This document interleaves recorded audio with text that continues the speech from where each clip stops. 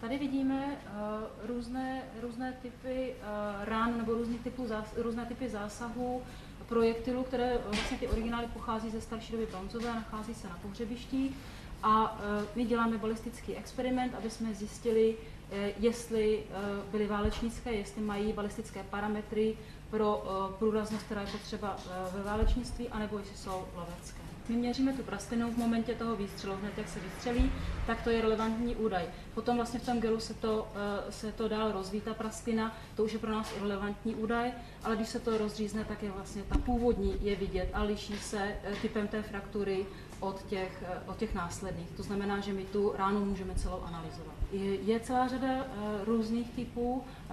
Může jinou ránu způsobit projektor, který je veliký nebo má do široka rozevřená ta křidelka, nebo který má těžiště na hrotu, anebo který má výraznou rotaci, jako je třeba příklad této šipky, no, která je záměrně vyrobená tak, aby byla příčně asymetrická a ještě šla jakoby do, eh, do zákrutu.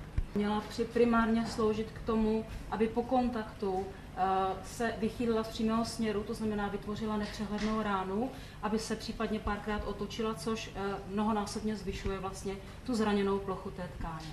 To je vhodné právě pro válečnictví, protože na rozdíl od lovu eh, je potřeba vlastně zanechat trvalé zranění, které i když eh, nespůsobí hned okamžitě smrt, tak ji způsobí v řádu několika hodin na infekci, na to, že se ten projektil tam rozlomí nebo se nedá výjmout, právě protože ta rána není přímá a ten projektil nevíde na druhé straně.